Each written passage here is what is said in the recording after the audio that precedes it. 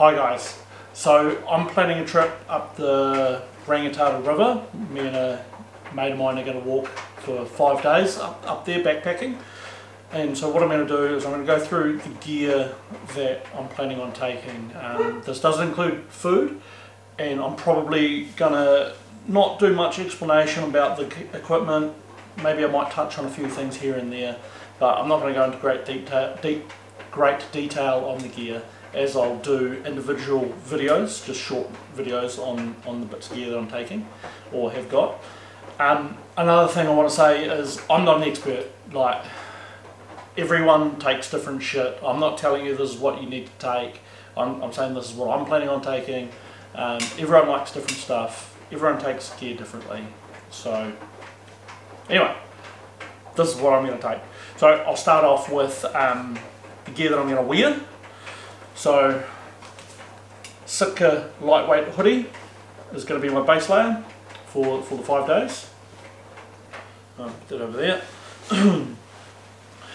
Depending on the temperature when we, when you leave the truck, um, I'm going to wear the Sitka ambient hoodie. Um, I've done a video about this, there's a great bit of gear. Um, so yeah. For, for longs, for pants, um, I'm recently convert to wearing convert to wearing pants. Um, I'm going to be wearing the Sitka mountain pants. Um, relatively new to my collection, but should be good. Gator wise, just um, Kuiu Stormfront Gators, I think they're called. Um, these are brand new, so hopefully they hold up, but we'll see.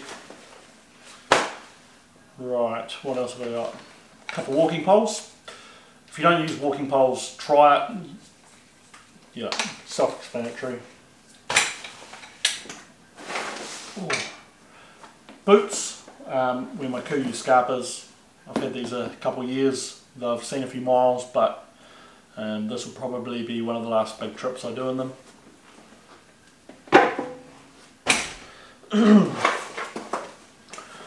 um, Bino harness. I've had this not too long. This is a um, marsupial gear Bino harness. Um, great harness. Holds everything I want to. I'll do a separate video on this at some point. It's um, great bit of kit.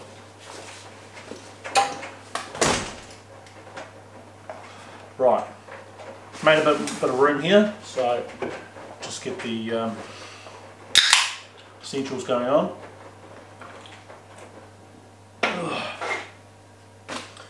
Right, pack. I'm going to take my Mystery Ranch Metcalf. Um, yeah, I'm taking this because it, it carries heavy loads quite well. Um, and if I've got to carry skin out of where we're going, um, I'm going to be walking, going to be carrying heavy load.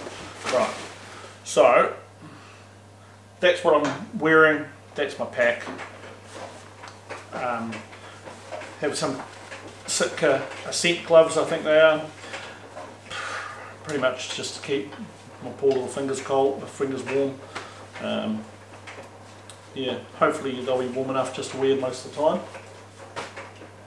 Right, so the rest of the stuff's going in my in my pack, um, and I'll yeah, go through and pack it as I would. So this here is the Rab Neutrino Pro 500, I think it is. Uh, it's, it's good, light, warm, all the things you want in a sleeping bag.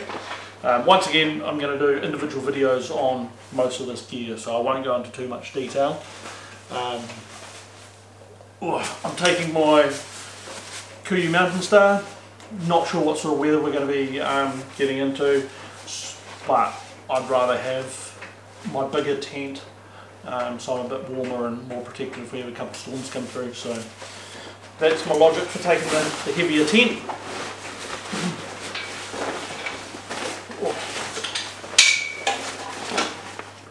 Right. Um, I have a just a Sea to Summit pillow. I like to be comfortable. stuff that down there.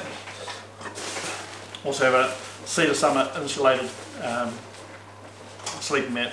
As we're getting, kind of looking like we're going to be getting some really cold temperatures, I'm, I'm definitely packing my heavier, warmer here. So, and as a part of that, I have my Kuiu, what is it? It's a Kuiu Pro Super Down Puffer and Kuiu Ultra puffer leggings um, in a waterproof, in a dry bag because if I fall in a river I want the important stuff that's going to keep me alive to be warm. So that can go down the bottom there. Um, running on the dry bag theme, this is a Kuiu zip dry bag and this has Kuiu 200 Ultra Merino leg, long johns and a 145 hooded top in there as well as a spare pair of socks and some merino undies. Um, once again, dry bag, keep it dry, keep it you know, ready to go if I get wet and cold. Right, what else we got? Sorry. Next room. This is a another dry bag on the same theme and this is what the Americans would refer to as a kill kit. Um, it's got a game meat bag, um, sharpener, steel, a few scalpel blades and one of those small scalpel knives for heat skinning. So we can just go in there. This here is my cooking kit. So in here there's um, I have a water bladder, Uh, MSR wind burner, I've got some salt, pepper, knife, fire lighter in there, a little plate, Sea to Summit plate, bowl, and titanium mug, toothbrush, utensils, etc., gas, stuff like that, all in this little bag. Um, these are Mystery Ranch Zoid cubes, good for organising.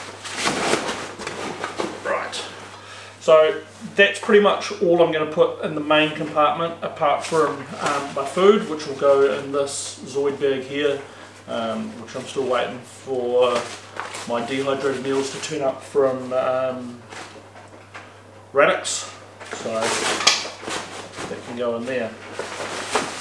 In my top pockets I have a med kit um, self-explanatory. A few emergency items in there, blanket, compass, mirror, a few you know light med kit, fire starters, stuff like that in there. So that goes to the top. I also have in a zip dry bag. This has got like a few batteries, battery banks. It's got um, another battery for my MH8 LED LED MH8 headlamp. Um, a little lantern, one of those little ML6 lanterns, ML4 lanterns, a few cables, etc, etc. Nothing too too exciting. Ooh, also got a um, ammo holder with 10 rounds for my 28 Nosler. That'll go in there. And I have some, um, I think these are the mountain, Sitka mountain gloves. I wanted something a bit heavier to go over top of my lightweight ones for when I'm glassing or whether. I got soft little office hands nowadays, cold fingers, don't want that. Right. Getting into the meat and potatoes of this stuff. Oh shit. Um, I don't often carry a full set of rain gear. I'm definitely more of just a um, take a rain jacket kind of guy. But I recently got some leggings for this trip um, due to the fact, once again, we're expecting some cold temperatures and I want to do everything I can to stay dry and warm. So I bought the Sitka Dew Point pants. They can go in here. They weigh practically nothing. Not practically nothing, 300 grams I think and um, that's the Sitka Dew Point jacket, which I'll do another small video on at some point.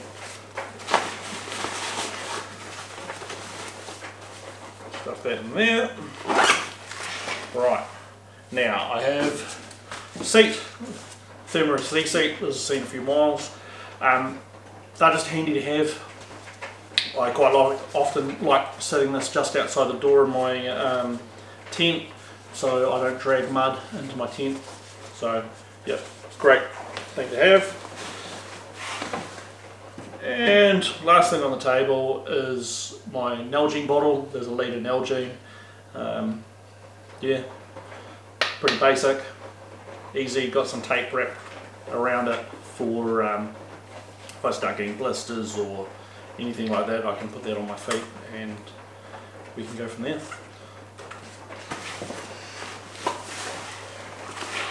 And I have the trusty scales here.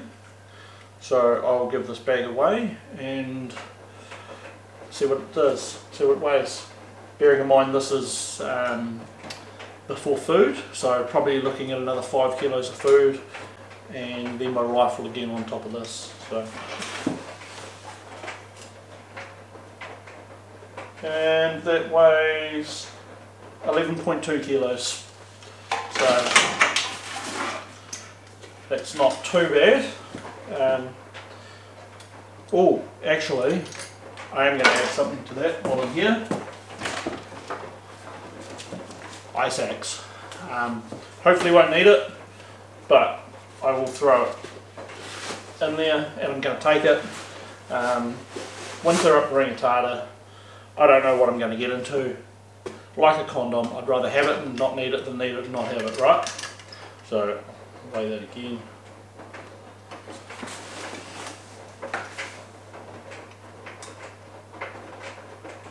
It's 11.7, so it's not too bad.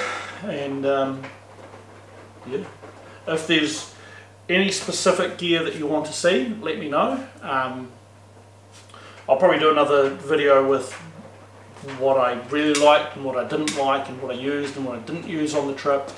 But yeah, so yeah, if there's any gear that you want to see, let me know. Um, I'm slowly going to work through it all and, and get some videos out, but it might take me some time to do because I've got a shitload of gear here. So anyway, hope you enjoyed that guys. Cheers.